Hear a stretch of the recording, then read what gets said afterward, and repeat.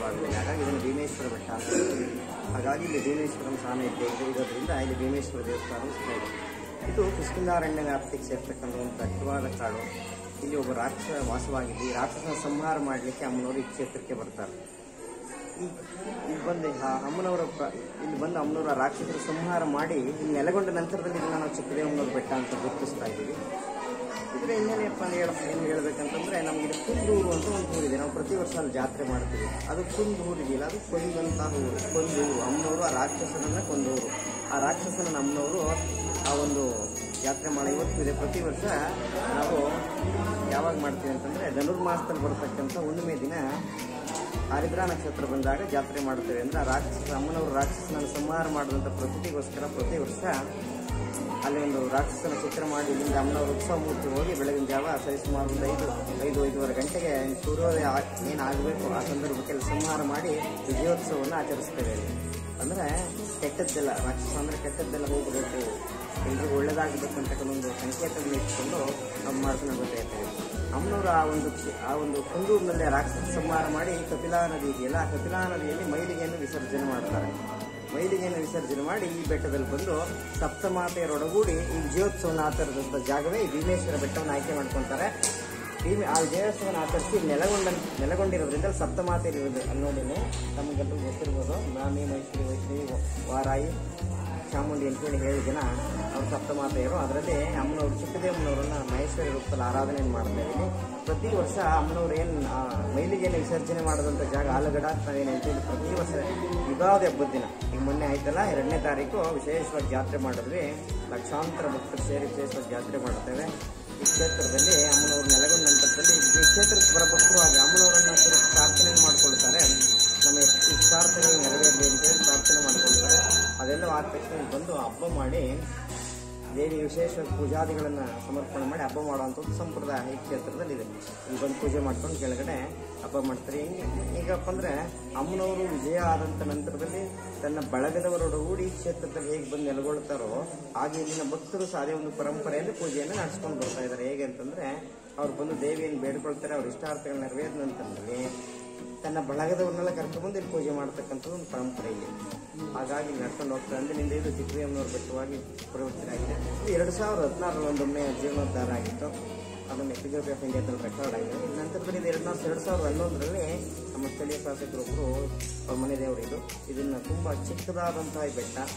ಇಲ್ಲಿ ಒಂದು ಚಿಕ್ಕದಾದಂಥ ಬೆಟ್ಟದಲ್ಲಿ, ಈ ಬೆಟ್ಟದ ಚಿಕ್ಕದಾದಂಥ ಕಲ್ಲಿನ ದೇವಸ್ಥಾನ ಇರುತ್ತೆ. ಅದನ್ನು ಅವ್ರೇನು ಮಾಡ್ತಿದ್ದಾರೆ ಒಂದು ದೊಡ್ಡ ಮಟ್ಟದಲ್ಲಿ ಕ್ಷೇತ್ರನ ಅಭಿವೃದ್ಧಿ ಮಾಡಬೇಕು ಅಂತ ಅವ್ರು ಸಂಕಲ್ಪ ಮಾಡಿ ಅವ್ರೇನು ಮಾಡ್ತಾರೆ ಎರಡು ಸಾವಿರದ ಹನ್ನೊಂದು ಹನ್ನೊಂದರಲ್ಲಿ ಪ್ರಾರಂಭ ಮಾಡಿ ಎರಡು ಸಾವಿರದ ಹನ್ನೆರಡರಿಂದ ನವೀಕರಣ ಮಾಡಲಿಕ್ಕೆ ಪ್ರಾರಂಭ ಮಾಡುತ್ತಾರೆ ಇದು ಇದ್ದಂಥ ಹಳೆ ದೇವಸ್ಥಾನಗಳ ಒಂದು ಹೊಸದಾಗಿ ಕಟ್ಟಲಿಕ್ಕೆ ಮಾಡುತ್ತಾರೆ ಇದು ಎರಡು ಸಾವಿರದ ಹದಿನಾರರಲ್ಲಿ ಪುನಃಪ್ರತಿಷ್ಠೆಯಾಗುತ್ತೆ.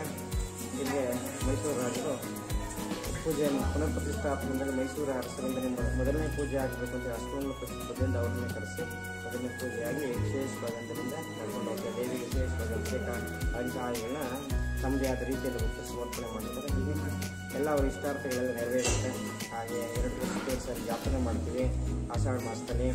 ಹಾಗೆ ನವರಾತ್ರಿ ಎಲ್ಲ ವಿಶೇಷ ಪೂಜೆಗಳು, ಉತ್ಸವಾದಿಗಳೆಲ್ಲ ಸಂಪನ್ನವಾಗ್ತಾ ಇರುತ್ತೆ ತಮ್ಮದೇ ಆದ ಕೋರಿಕೆಗಳನ್ನು ಈಡೇರಿಸಲಿಕ್ಕೆ ಪ್ರಾರ್ಥನೆ ಮಾಡಲಿಕ್ಕೆ ಭಾನುವಾರ, ಮಂಗಳವಾರ, ಶುಕ್ರವಾರಗಳಲ್ಲಿ ತುಂಬ ಬರ್ತಾರೆ. ಅದರಲ್ಲೂ ಭಾನುವಾರ ಮಂಗಳವಾರ ಅಂತೂ ತುಂಬ ಗೊತ್ತಿರ್ತಾರೆ ವಿಶೇಷವಾಗಿ ಬಂದು ದೇವಿಯನ್ನು ಆರಾಧನೆ ಮಾಡಿಕೊಂಡು ತಮಿಷ್ಟಾರ್ಥನೆ ವೇಳೆ ಅಂತ ಪೂಜೆ ಮಾಡ್ಕೊಂಡು ಹೋಗ್ತಾರೆ.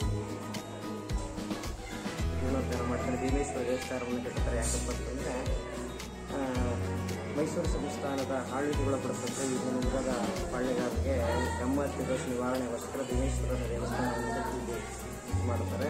ಹದಿನಾರನೇ ಶತಮಾನದಲ್ಲಿ ಇವತ್ತಿಗೆ ಕುದುರೆ ಪಂದ್ಯದ ರೆಕಾರ್ಡ್ ಇದೆ ಸುಮಾರು ಇದು ಅದಕ್ಕಿಂತ ಹಿಂದೆ ನಮ್ಮ ಅಷ್ಟಮಂಗಲ ಪ್ರತಿಷ್ಠೆಯಲ್ಲಿ ಮತ್ತು ಋಷಿಗಳ ಕಾಲದಲ್ಲಿ ಪ್ರತಿಷ್ಠೆ ಆಗಿರ್ತಕ್ಕಂಥದ್ದು ಅಂತ ಹೇಳಿ ನಮಗೆ ಅಷ್ಟಮಂಗಲ ಪ್ರತಿಷ್ಠೆ ಬಂದಿದೆ. ಸಾವಿರ ವರ್ಷಗಳ ಹಿಂದಿನ ಕಾಲದಲ್ಲಿ ದೇವಸ್ಥಾನ ಇದು.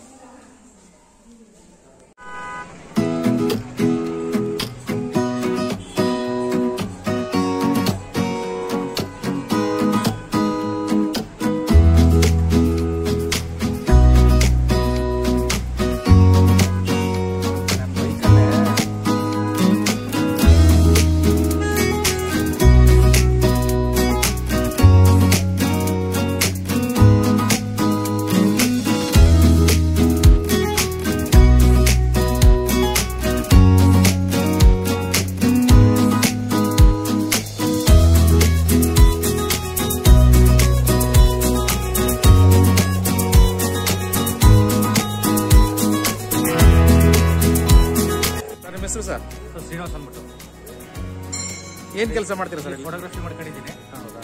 ಎಷ್ಟು ವರ್ಷದಿಂದ ಮಾಡ್ತಾ ಇದ್ದೀರಾ? ನಾನು ಒಂದು ಎಂಟು ವರ್ಷದಿಂದ ಮಾಡ್ತಿದ್ದೀನಿ. ತಾಯಿದು ಚಿಕ್ಕದೇವಮ್ಮ ಅಂದ್ಬಿಟ್ಟು ಮೂಲಕಮ್ಮಿದು ಭೀಮೇಶ್ವರ ಬೆಟ್ಟ ಅಂತ ಇತ್ತು. ಭೀಮೇಶ್ವರ ಬೆಟ್ಟ ಅಂತ ಇತ್ತು ತಾಯಿ ಚಿಕ್ಕದೇವಮ್ಮ ಭೀಮೇಶ್ವರನ ಬಳಿ ಬಂದಾಗ ಭೀಮೇಶ್ವರ ಇಲ್ಲಿ ಜಾಗ ಕೊಟ್ಟು ತಾಯಿ ಚಿಕ್ಕದೇವಮ್ಮನ ಇಟ್ಕೊಂಡಿದ್ದಾರೆ. ಮತ್ತೆ ಅಣ್ಣನಾದ ಭೈರೇಶ್ವರನು ಕೂಡ ಇದ್ದಾನೆ. ಇದು ಸಪ್ತಮತ್ರಿಕೆ ಸನ್ನಿಧಿರೋದ್ರಿಂದ ತಾಯಿ ಮೂಲತಃ ಚಿಕ್ಕಮ್ಮ ನೆಲೆಗೊಂಡಿರೋದ್ರಿಂದ ಸಪ್ತಮತ್ರಿಕೆ ಅದ್ರ ಯೋಜನೆ ಜನ ಸಪ್ತಮತ್ರಿಕೆ ಇಲ್ಲಿ ಕೆಳಗಡೆ ದೇವರ, ದೇವ್ರನ್ನ ಪ್ರತಿಷ್ಠಾಪನ ಮಾಡಿದ್ದಾರೆ. ಮತ್ತೆ ತಾಯಿದು ಬಂದು ಒಳಗಡೆ ಹೊಳೆ ಹತ್ರನ ಒಂದು ಜಾತ್ರೆ ನಡೀತಿದೆ. ಇವತ್ತು ಎಪ್ಪತ್ತು ದಿನ ಅಂತ. ಲಕ್ಷಾಂತರ ಜನ ಲಕ್ಷಾಂತರ ಜನ ಬಂದು ಸೇರ್ತಾರೆ. ಯುಗಾದಿಗೆ ಜಾತ್ರೆ ನಡೆದ್ರೆ ಇಟ್ಟ ಅಂತ ಒಂದು ಗ್ರಾಮ ಇದೆ. ಆ ಇಟ್ಟ ಅಂತ ಒಂದು ಗ್ರಾಮದವ್ರು ಬಂದು ಈ ತಾಯಿ ಬಳ್ಳಿ ಬಂದು ಜನ ಬಂದು ತಾಯಿನ ಉತ್ಸವ ಮೂರ್ತಿನ ಎತ್ಕೊಂಡು ಹೋಗಿ ಒಳ್ಳೆ ಕಪಿಲ ನದಿ ಹತ್ರ ಪೂರ್ತಿ ಡಪ್ಪದ ಕಟ್ಟೆ ಅಂತ ಒಂದು ಕಟ್ಟೆ ಮಾಡಿ ಆ ಕಟ್ಟೆ ಮೇಲೆ ಜಾತ್ರೆ ಮಾಡ್ತಾರೆ. ಆ ಜಾತ್ರೆ ಮುಗಿಸ್ಕೊಂಡು ಇಟ್ಟ ಅಂತ ಹೋಗುತ್ತೆ. ಇಟ್ಟದಲ್ಲಿ ಒಂದು ಮೂರು ಜನ ಜಾತ್ರೆ ಆಗ್ತಾರೆ ಆ ಇಟ್ಟ ಜಾತ್ರೆ ಮುಗಿಸ್ಕೊಂಡು ಮತ್ತೆ ತಾಯಿನ ಚಿಕ್ಕದೇವಮ್ಮನ ತಂದು ಬೆಟ್ಟಕ್ಕೆ ಉತ್ಸವ ಮೂರ್ತಿ ತಂದು ಬೆಟ್ಟದಲ್ಲಿ ಮುಡುತ್ತಾರೆ ಇದು ಈ ತಾಯಿಯ ವಿಶೇಷತೆ ಮೂಲವಾಗಿರೋದ್ರಿಂದ ಈ ತಾಯಿಗೆ ಜಾಸ್ತಿ ಅಭಿಷೇಕ, ದಿನನಿತ್ಯ ನಡೀತದೆ. ಈ ತಾಯಿ ನೆಮ್ಮದ ನೆಮ್ಮದವ್ರು ಯಾವತ್ತೂ ಕೈ ಬಿಟ್ಟಿಲ್ಲ. ಈ ತಾಯಿಗೆ ಇಷ್ಟಪೂರ್ವ ಏಳ್ನೂರಿಂದ ಎಂಟುನೂರು ಸಾವಿರ ಇತಿಹಾಸ ಹೊಂದಿದೆ ಈ ಬೆಟ್ಟ. ಈ ತಾಯಿಗೆ ಅರಕೆ ಒಪ್ಪಿಸ್ತಾರೆ, ಸೀರೆ ಒಪ್ಪಿಸ್ತಾರೆ, ನೈವೇದ್ಯ ಮಾಡ್ತಾರೆ. ಮತ್ತೆ ಈ ತಾಯಿಗೆ ಮರಿನ ಅರಕೆ ಒಪ್ಪಿ ಮರಿನ ತಂದು, ಮರಿ, ಇಲ್ಲಿ ಮರೀನ ತಂದು ತಾಯಿಗೆ ಕೆಳಗಡೆ ಮರಿನ ಒಂದು ತೀರ್ಥ ತಕೊಂಡೋಗಿ ತಾಯಿನ ಮರಿನ ಹಬ್ಬ ಮಾಡ್ತಾರೆ. ನಂತರಗಳೆಲ್ಲ ಬಂದು ಸಂಪೂರ್ಣವಾಗಿ ಹಬ್ಬ ಮಾಡಿ ತಾಯಿನ ಕೂರಿಸಿ ಪೂಜೆ ಮಾಡ್ತಾರೆ.